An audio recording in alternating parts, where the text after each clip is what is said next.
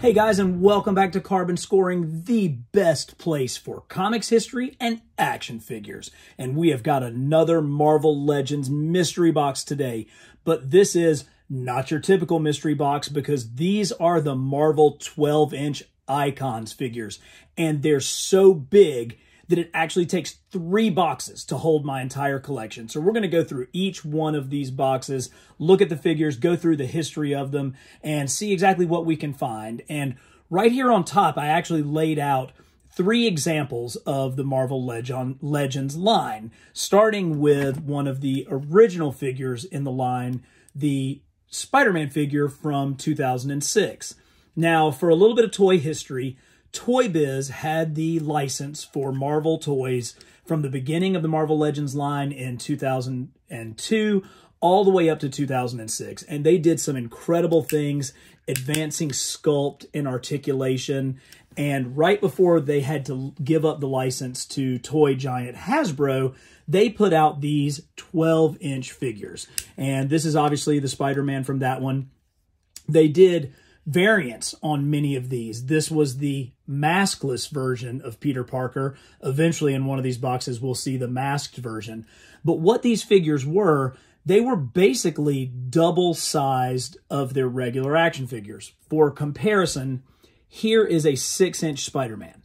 So you can see just how much bigger a 12 inch figure. It's obviously double, but I mean, it really looks that much bigger than the original figure. And what they did were they took sculpts that they already had, and this is the classic McFarlane Spidey sculpt from Toy Biz. You can see it has these very unique shoulder butterfly joints, kind of one of their early attempts at butterfly joints. It has a lot of articulation, including double elbows, double knees, and each individual finger is articulated on this figure. It uh, He can get into those terrific thwip sort of poses when he's shooting his webs, works on both sides. Just a lot, a lot of articulation. Has a good bend here. But what makes this one so special is, of course, the Peter Parker head sculpt. And I, you know, it's a very classic Peter Parker hairdo. I think it's a little bit of a thin face, but it certainly works with this thin body. And this was one of the thinnest Spider-Man figures that we got in a long time. But when you bring out this 12 inch scale, you can see all of the detail, all of the muscles, all of the folds in the costume. Look at these back muscles and the detail, the way the suit kind of ripples around that spider on the back. It's just really, this, this scale allows you to see so much more. So this was from Toy Biz's final run on Marvel Legends in 2006. And then Hasbro took the line over and they began producing Marvel Legends icons as well. They changed the packaging a little bit. And this is the Punisher. They did figures in 2007 and 2009. Now, one thing you can see is there's a little bit less facial wash on the Punisher here. It's like he has the lines painted in on his brow, but he doesn't have that same kind of, you know, just sort of the texture that the Toy Biz figures have. I would imagine this may have originally been sculpted by Toy Biz. It has kind of those classic ball jointed hips that Toy Biz was known for. One of the things that I find so interesting about this Punisher figure is he was not a six inch figure. This was not something that we got as a six inch figure. This is very, very clearly modeled off of Tim Bradstreet's artwork. So Tim Bradstreet did Punisher, did a lot of Punisher covers. He had a very, very photorealistic style, very distinctive looking skull pattern on the Punisher. And this figure clearly represents that. So this is kind of the second evolution in Marvel Marvel Legends icons. Then finally, we have the third volume of this. And of course, we're back with Spider-Man. Again, this is the pizza Spider-Man body only scaled up to 12 inches. Now, it's interesting. There's still a lot of detail in this sculpt. You know, there's still some folds in the clothes. You can see how there at the legs and at the thighs, how it, it ripples around. Got a really, really nice Spidey head sculpt.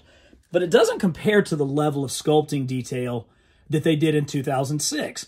So this figure should have been from around 2016 or so. So it's a 10 year newer figure than this one, but just a real change in the way that they sculpted it. Now, while it doesn't didn't have as much sculpting, what it did come with were accessories, including a really, really solid Peter Parker head that is the right proportions for this figure.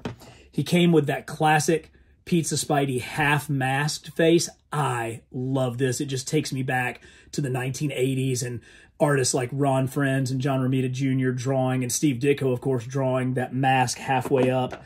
And he also came with interchangeable hands. So you ended up with six total hands, two web shooting hands, two open hands, and two fists. So for the money, and these were kind of expensive, which is why I don't have all of the different ones of these, you got a lot out of this figure. So again, 2016 for this. And just one more comparison here he is next to a six inch figure just to give you an idea of the size of the scale. But let's, so now that you see kind of the history of the line and how it evolved, let's just pull out one of these boxes and see what we can find inside. you knew we were going to start with this unbelievable Venom figure. Now, this is the variant. The regular Venom had the full face mask, whereas this is the half Eddie, half transformation mask. And look at the intricacies of the sculpt, the way the symbiote is like climbing around. There's even the hint of the eye beginning right there on his forehead. He has this just vicious tongue, and the jaw is already forming all the way out with those teeth jutting out again, so much sculpting on the body of this figure. You can see it is a massive, massive figure. I mean, the back across the shoulders compared to the Spidey that came out at the exact same time, you can just see the difference. This this figure has a heft to him that makes him ominous. I mean, it just really is a beautiful, beautiful Venom figure. He does have the articulated fingers, that Toy Biz was known for, but it doesn't detract from the, oh, I'm missing some fingers there. It doesn't detract from the sculpt at all. He's also got nice articulation through his lower extremities, including a really good pivot at the toe, which allows you to get him into some really great crouching poses. You can see that you can bend that right at the mid waist joint and really have that, that devastating head sculpt coming right at you. Ooh. Next up, We've got the good doctor, Dr. Doom. So Doom was part of Hasbro's first run at the line. So this was not a Toy Biz figure. This was a Hasbro one. So this would have come out either in 2007 or 2009. Those were the, the two times that that line continued. He's an interesting mix because he has these soft goods with the soft goods cape and hood, which actually is really nice. Uh, it would have been nice to have a wire down at the bottom so that you could pose it a little bit easier. But then the his tunic is actually plastic. This is a hard plastic, and then this is more of a, a, moldable soft plastic. So that allows you to kind of get his legs and move them into, into some, some better poses. He does have his rocket packs on the back, always a key feature for a classic Doctor Doom, something I look for. And maybe one of the greatest things is when you really focus in on his facial sculpt, you can see they sculpted the scarred face of Doom behind the mask. It's a little difficult to see, but the eyes are in there and there's scarring around them. So really, when you have a figure in this scale, you can go all out on the details of the sculpt. Uh, his hands only have the two joints where they just go from open to a closed fist, and that's pretty typical for a Hasbro figure of this era, but really first-class Doctor Doom. Okay, now we have two more of the original line from Toy Biz. So here is one of the greatest Iron Man figures you're ever going to see. This figure, again, is a two-up. And a two-up, when we're talking about action figures and sculpting, is when the sculptors who originally make the figures, they typically sculpt them first in double scale of what they eventually are. So if you're making a six inch figure, the original sculpt is in 12 inch scale. We used to see more examples of this at Toy Fair back when most of the toys for the year were revealed at New York Toy Fair in February. We don't see them much anymore, but this gives you an idea of what the sculptors were actually looking at when they designed the figure, knowing that it was going to be shrunk down to uh, about half of the size. But this figure, actually, the original one appeared in Marvel Legends Wave 8 from 2004. It was at the time labeled as modern Iron Man armor. Uh, it came out in 2002, so it's now almost 20 years old. We've seen a lot of different Iron Man armors in the meantime. Uh, I think this one's also called the Tin Man armor. But again, just the size of this allows for such incredible intricacy of the sculpting. And this particular Iron Man suit, with all of the silver, all of the wiring, he has a very, very complicated mask. Uh, it almost has like a, a toothy look to it. Um, and then, of course, the torso has much more uh, angular sculpting than many of the more classic Iron Man armors. This was a great choice to do in this double-sized uh, style. Uh, again, Toy Biz figure, all the fingers are articulated. And even look at this.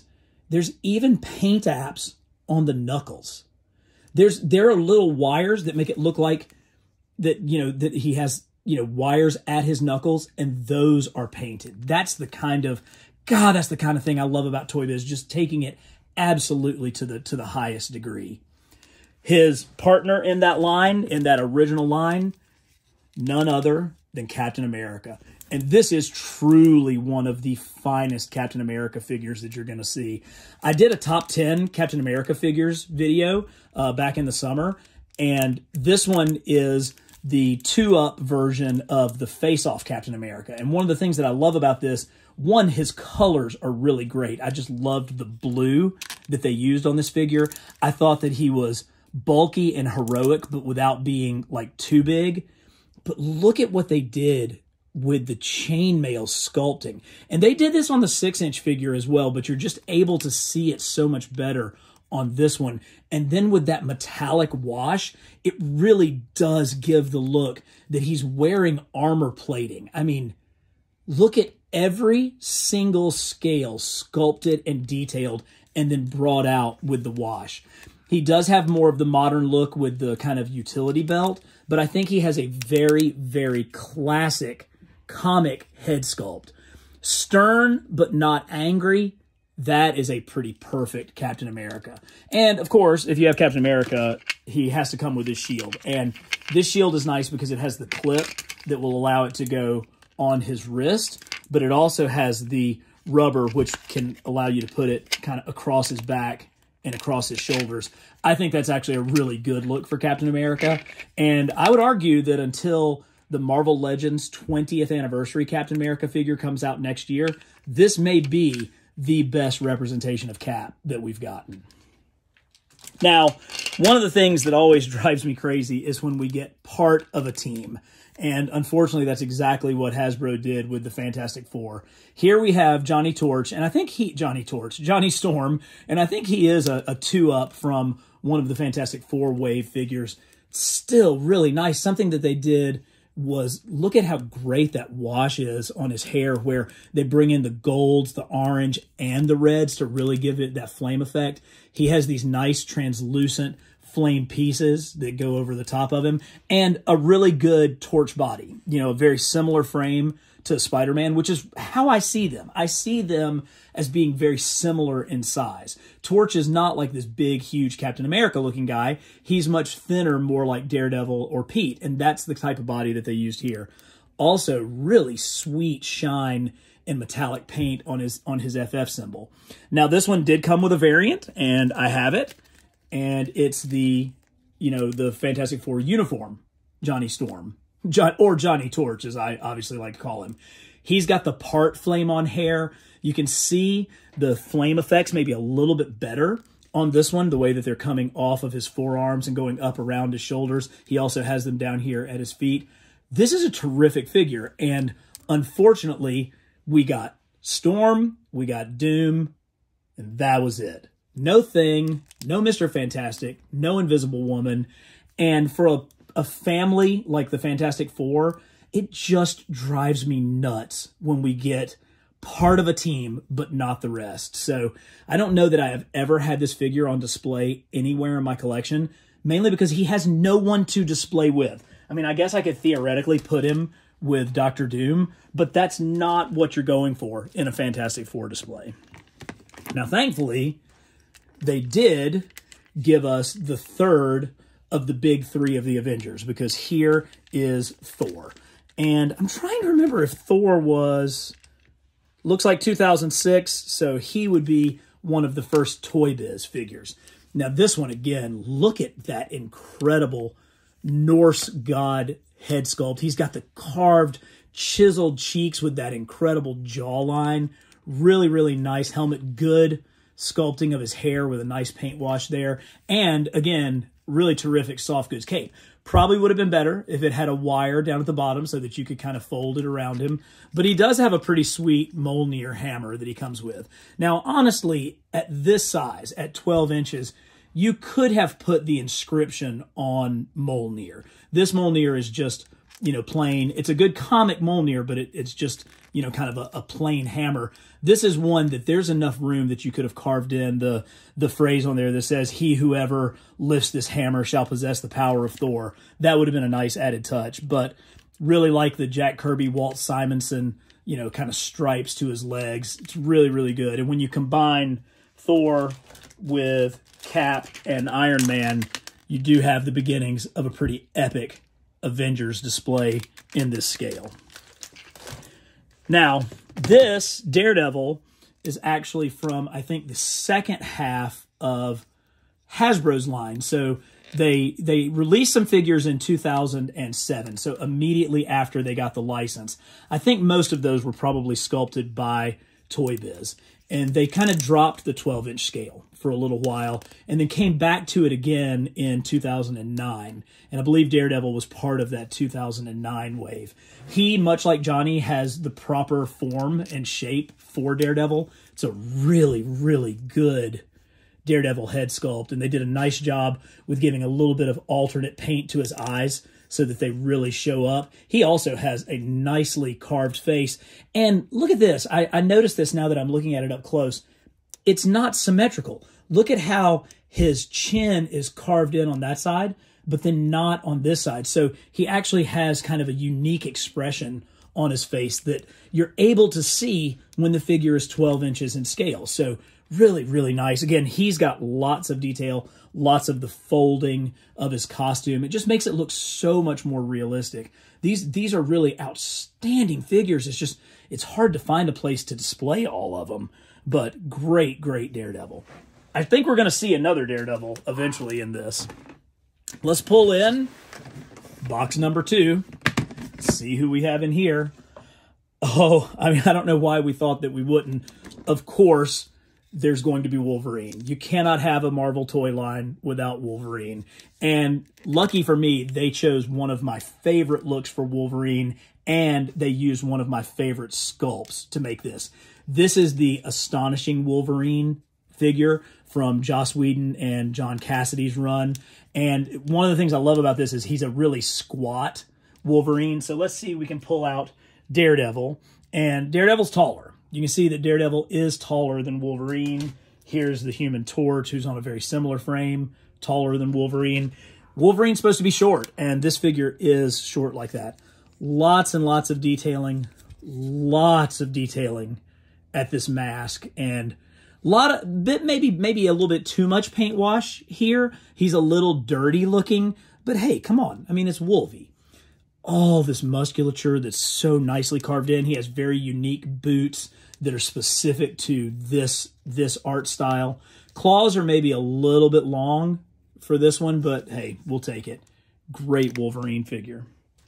And then one of the more recent ones. So uh, Nightcrawler here, I believe, came out in like 2009 and Hasbro's kind of second go round with this. This is not a figure that we saw in six inch scale. So, you know, we saw this Wolverine as a six inch figure, and this is just a, an enlarged version of it. I don't believe we saw this Nightcrawler ever as a six inch figure. So that makes it a fairly unique sculpt. I mean, obviously these Nightcrawler hands and feet are unique. This torso piece here is unique. And he has that great Kurt Wagner. Oh, look how cool his hair is with it kind of flowing out, those pointy ears. What a what a really good figure. Plus, he does have a bendable tail, and it does have the wire in there, so you can actually make this tail kind of be articulated and work with the figure. And and uh, I think that's always a big plus with a Nightcrawler. Each finger is articulated, which again helps with an acrobatic figure like Kurt, getting him into cool poses. More X-Men. Cyclops. Now this does look like a two-up of the Astonishing X-Men Cyclops. It's in that same costume that you saw with Wolverine. Fairly bland costume, but, you know, I mean, Cyclops, he's a fairly bland character, so I guess that's fairly fitting. Now, what comes next is definitely a new sculpt. I do not believe that we had seen this female sculpt out of Hasbro, and they used it twice. Unfortunately, both for the same character, both for Jean Grey. This is, of course, the Dark Phoenix version. I love the gold sash, the way the yellow, red, and gold goes together. I always like when she's possessed by the Phoenix Force, how her eyes just turn completely white. Really, really good hair. She actually stands pretty well for a figure with this kind of slight build. But we'll see another version of Jean coming up probably, I guess, in the in the next box. But this is the only, to my knowledge, the only female who showed up in the Icons line was Jean Grey here as Dark Phoenix. Let's, okay, let's grab this bad boy. Again, this I believe is a completely new sculpt for the Icons line. This is first appearance Grey Hulk. They did make a variant green one, but this was kind of the main release was the Grey Hulk. And just look at, I always love when they really give Hulk a really, really powerful furrowed brow. And I can't imagine that you could find one any more furrowed than this one. I mean, they're they're literally sticking out. If he were life size, those would be sticking out like three inches from from his eyes. This thing is huge. I mean, so here is Hulk, here is Nightcrawler and somewhere around here is a six inch figure. Here's a here's a six inch figure, a big six inch figure, and he's just completely dwarfed by the Incredible Hulk. Uh, this one, I have a theory that Toy Biz was going to do a uh, first appearance, another first appearance line, and that this Hulk was going to be in it as well as another figure that we're going to see coming up. But you know, they lost the license, and so they didn't want to lose the sculpt and the tooling that they had put into it, and so they used it in this Marvel Legends Icons line. Here's the alternate version of Daredevil, his first appearance version, and this is this was a two-up of the early Hasbro Daredevil sculpt, which I actually really love. The only thing I don't love about this first appearance is that he has the carved DD on his know, his kind of singlet, whereas the original first appearance was just a single D on the chest. But because they used the exact same body, there was no way to get away with that. They just had to kind of paint it the way that it looked. He's actually got his billy club, and uh, it's a nice kind of like a little hefty rubber billy club that goes there, and it does fit in the pocket. Uh, but a really, really cool looking first appearance Daredevil. Just look how stern. Oh, that's so good. Now, we're fortunate. We have a couple of more X-Men beginning with Magneto.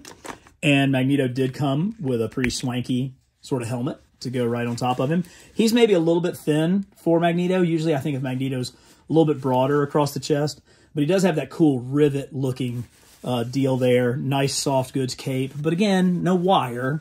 Wire would have definitely been a plus. I do like he has kind of the Jack Kirby hair where it sort of wings out up there, which makes him look a lot like his son Pietro Quicksilver. So kind of you can see a little bit of the family resemblance in this. This was a Hasbro figure, so it came out after the the Toy Biz line. And another unique sculpt for this line, and boy, did they go all out on this bad boy. Look at how terrific this Colossus is. And this is a great kind of classic Colossus in his, you know, really, really made famous in the early issues of you know, Uncanny X-Men, the new X-Men Uh, just a really good look for him. And and again, he's mammoth. You know, here he is, and somewhere over here, here's our comparison. Here's Nightcrawler. You can see that he towers over Nightcrawler, as he should, which means he's really going to tower over this little guy. So they are absolutely ready to throw down a fastball special together with this amazing Colossus figure. All right, one more box to go. Let's pull out this last box and see what we've got in here. More Marvel Legends 12 inch, starting with, yeah, baby. Here is the McFarlane Spidey at 12 inch scale. You know, he's got the classic McFarlane eyes, those big, big white eyes with the pupils. Uh, has that same frame and body, the same sculpt that we saw with the Peter Parker headed variant version, just all Spidey all the time. Oh, so great. And, and you know, one thing they did, you can hear it click. So it will stay in these poses because it, it clicks in there. So that's nice. I mean, this figure is 16 years old and it still holds its shape. It still holds its joints really, really well. Those ankle joints, they click too. You may not be able to hear them, but I can feel them clicking. So that's a nice move. Not something that was done on the six inch figure, but when you have a 12 inch figure, having those clicked in joints really helps him to stay, stay upright. We'll compare him to the most modern version of Spider-Man that I have in the symbiote suit. Uh, here is our black Spider-Man. This is uh, a little, I think this is still pretty much similar to the Pizza Spidey body. Uh, Pizza Spidey, where are you? All the way down at the bottom. Uh, yeah, these two look to be exactly the same, but just such a great job with this black suit. Look at how awesome that head is. God, it's great. And here he is. Here is the regular version of Venom. Oh, the jaw is articulated. His head actually comes up so that you can get some movement out of that jaw. Look at that thing. Look at the swirl around the eyes. You can almost see the movement of the symbiote in this sculpt. It's it's you know there's so it's so much more rough hewn than the other figures that we've seen, so much more so than even Captain America and Iron Man. You know, he's got the beautiful look how the the spider like comes down his back and actually finishes down on his on his torso piece there. Just all of that strength across his back. But again, the real winner is this head sculpt on this spectacular Venom figure. Ooh! This is, oh, look who's here. This is not a Marvel Legends icon. This is from the first Iron Man. Gosh, it still works. I can't believe it. What else do you say, Tony? I am Iron Man. Oh, you absolutely are. So this was a 12 inch talking Iron Man uh, from the first Iron Man movie. I, I think at some point his, I wonder if these will light up. Yeah. Holy cow. I can't believe this thing still works and the batteries are still good, but really, really sweet looking first movie Iron Man, which was still such a great look. It's such, oh, wait a minute he's got something with his feet where I think if he stomps down, he'll make like the superhero pose. That one may not be working, but let's let's see if there's something else. Repulsor blast. yeah, that's great. Uh, Jean Grey, one more time. Oh, my daughter's puppy got a hold of Jean. Sorry, but we'll put that behind your back. Uh, here you can see they went with painted eyes.